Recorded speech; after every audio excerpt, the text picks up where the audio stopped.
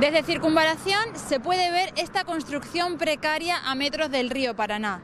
Se trata de una casilla diferente, más alta que las demás, encastrada como si se tratase de un Tetris. Hoy vamos a conocer la historia de vida que hay detrás de esa vivienda. Este es un castillo, eh. es un castillo además que es de madera, todo con la propia mano de pasito lo voy haciendo todo de vuelta. Es de madera y de chapa, eh, vivo ahí arriba. Carlos Chávez parece sacado de un cuadro de Antonio Berni. Nació hace 46 años en el norte de la provincia y llegó a Rosario muy joven. Zafó de la colimba, como él dice, y se instaló en el sur de la ciudad. En el barrio lo conocen como el rey. Yo siempre de que vine, porque estaba ahí abajo el puente, estaba. Eh, de los 20 años vine acá. Se ha pasado vientos, tormenta y, y la casita queda intacta. No, no se vuela una chapa. Sí, porque ha, ha venido tantos vientos y tormentas que tuvimos, pero eh, digamos, nuestra casa no ha movido y la casa de él queda ahí. Y él, él va haciendo, vos cada tanto vos lo vas viendo que él va haciendo una piecita más. Hace una piecita y otra y así, se lo construye todo él. Y todo el mundo que pasa, hasta los policías pasan y se quedan ahí, miran lo que él, él construyó, todo ahí, todo el mundo quiere, está digamos la curiosidad que le agarra cómo hizo, cómo hace. Claro, cómo hace. Y bueno, soy el rey Carlos Chávez yo. Yo cumplí la misión. Hace más de 15 años comenzó con esta edificación y desafiando las leyes de ingeniería y arquitectura hoy sigue en pie.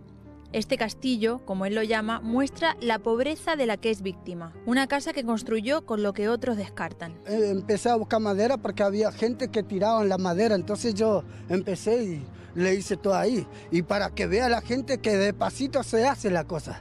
Y, y tenés que tener paciencia nomás, mira, uno está arriba el otro, que le tenés que saber hacer. Ese tiene doble, doble pared tiene. Aquello también, todo tiene doble pared. Trabajé albañil y trabajé ayudante albañil. Lo último, yo era, era cartonero, después me fui al- a la venta de churros, la venta de helado, y de todo. Y después me, me indiqué a esto, al, al el cirujeo.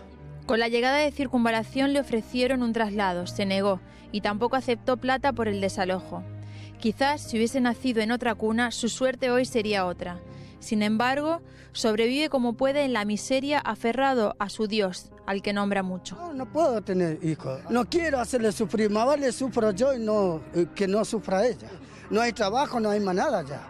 Entonces vamos a ver qué, qué esperamos en estas elecciones. ¿Te ayuda a alguien o No, nadie. Nadie porque plato de comida, nada?